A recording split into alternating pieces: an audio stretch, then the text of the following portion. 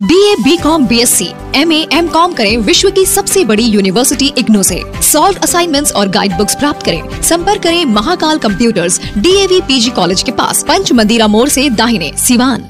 Leucorrhoea मासिक अनियमितताएँ, बच्चेदानी में गांठ, बच्चेदानी बाहर निकालना और डिलीवरी से जुड़ी हर समस्याओं के लिए आज आए डॉक्टर वंदना कुमारी के पास। पता है डॉक्टर रामाजी चौधरी से 100 कदम पूरब, डॉक्टर कॉलोनी सिवान। अधिक जानकारी के लिए नीचे दिए गए नंबर पर कॉल करें। सिवान के साइंस एकेडमी के छात्र असरार हुसैन ने नीट में 675 अंक लाकर बढ़ाया मान। गोपालगंज के रहने वाले असरार हुसैन ने अपना ट्वेल्थ का पढ़ाई साइंस एकेडमी से पूरा करने के बाद कड़ी मेहनत के साथ नीट की तैयारी में जुटे थे और इनका मेहनत भी रंग लाया। अब असरार हुसैन आगे मेडिकल की पढ़ाई कर बिहार में अपनी सेवा देना चाहते हैं। आज इसरार हुसैन को साइंस एकेडमी के डायरेक्टर आफ्ताब आलम सहित तमाम शिक्षकों ने उनका हौसला अफजाई करते हुए उनके उज्जवल भविष्य के लिए उनको शुभकामनाएँ दी। वहीं इस दौरान साइंस एकेडमी के डायरेक्टर आफ्ताब आलम और छात्र असरार हुसैन ने क्या कहा सुनिए। जी मेरा नाम असरार हुसैन है। मैं बिलोंग करता हूँ गोपालगंज ज़िला के भोरे प्रखंड से। और मैंने इस बार नीट में 675 मार्क्स ऑप्टेंड किए ए आई आर ग्यारह सौ बासठ है बोलिए ना लोग कुछ है और category wise rank OBC rank 300 है। हम्म। जी।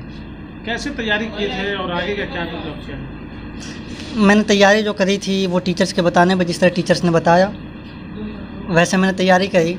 और आगे का मेरा लक्ष्य जो है वो है न्यूरो सर्जन बनना एक अच्छा न्यूरो सर्जन बनना है क्योंकि हमारे यहाँ गोपाल के सिवान में अच्छे न्यूरो सर्जन की बहुत ज़्यादा कमी पाई जाती है। जी। नीट की तैयारी करने में काफ़ी मशक्क़त का सामना लोगों को करना पड़ता है जो भी युवा हैं उन युवाओं को क्या कुछ आप संदेश देना चाहेंगे देखिए जहाँ तक मशक्क़त की बात है तो अगर इंसान अपने एम को पाने का जुनून अपने अंदर सवार कर ले तो फिर कोई भी लक्ष्य भारी नहीं लगता।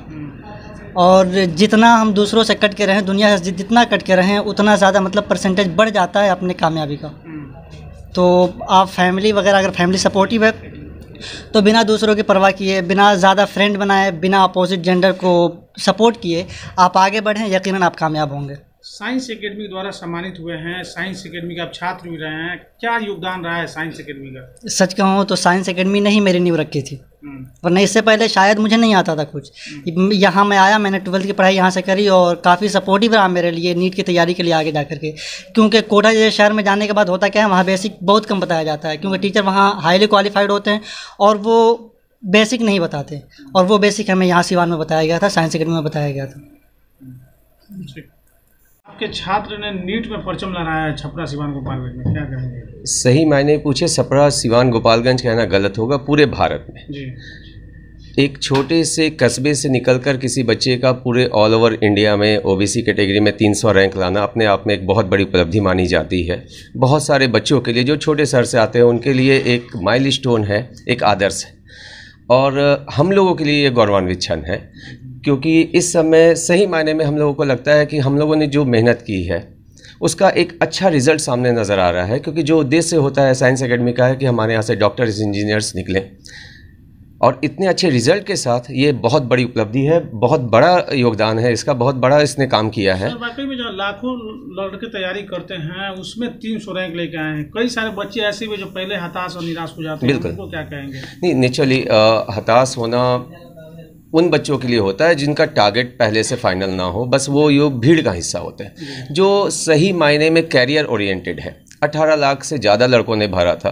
और रिज़ल्ट देखें तो सिर्फ़ तिरानवे हज़ार लोग ही एमबीबीएस के लिए सेलेक्ट होते हैं। कट ऑफ़ बहुत हाई है कंपटीशन बहुत हाई है लेकिन जो मेरिटोरियस होते हैं जिनका लक्ष्य एक ही होता है वही तैयारी करते हैं। तो शुरू से अगर तैयारी की जाए बेसिक कोई कंसेप्ट को ध्यान में रखकर तैयारी की जाए तो कोई भी लक्ष्य मुश्किल नहीं है। आखिर कोई ना कोई छात्र ही उस जगह तक पहुँचता है। कोई भी छात्र हो सकता है। बस संकल्प होना चाहिए गाइडेंस होना चाहिए और सही दिशा में, सही तरीके से तैयारी होना चाहिए।